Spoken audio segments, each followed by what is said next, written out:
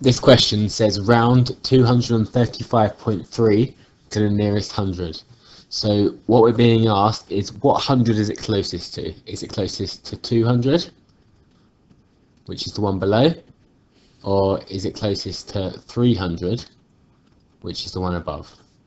So in order to round it, what we do is we look at the middle, so the midpoint between 200 and 300, which is 250.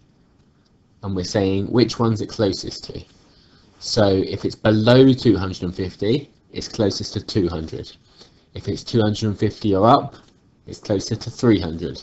So our number, 235.3, is in there.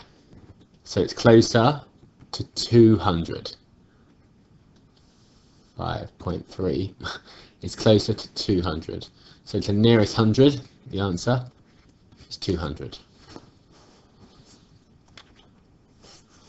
Okay, here's another question.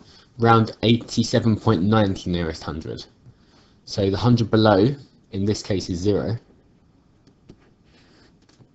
And the 100 above is 100. The midpoint, halfway, is 50.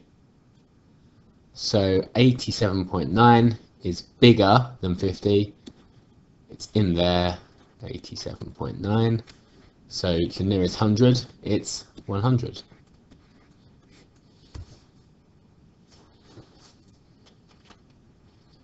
Okay, here's some for you to try.